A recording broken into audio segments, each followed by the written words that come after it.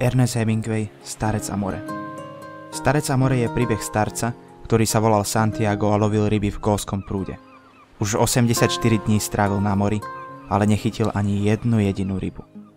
Najprv s ním chodieval aj malý chlapec Manolín, ale potom mu to rodičia zakázali, lebo nenosil z rybačky nič domov. Tak chlapca posunuli k inému rybárovi a Santiago ostal sám. Starec sa rozhodol, že vypláva ďalej na more. O pár dní mu začalo prudko ťahať silon na udici. Bola to obrovská ryba, s ktorou mal veľmi veľa problémov. Ryba bola veľká a ťahala ho ďalej do mora. Santiago už nemal čo piť ani jesť, len surové ryby, ktoré ulovil. Po veľmi dlhom čase si už Santiago myslel, že rybu skolí, lebo už bola vysílená. Zobral teda harpúnu, no rybe spravil len malé zranenie.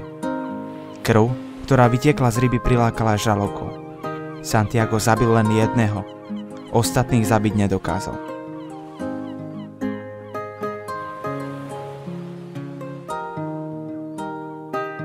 Po troch hodinách žaloky odplávali a z ryby ostala len kostra. Santiago našťastie chytil morský prúd, ktorý ho doplavil až domov. Zaspal a naraz sa ocitol v chalupe na posteli. Manolín mu doniesol napiť a najesť. Zhováral sa s chlapcom a vyrozprával mu, čo sa mu prihodilo. Ľudia neveriacky krutili hlavami a obdivovali kostru obrovskej ryby, ktorú starček chytil.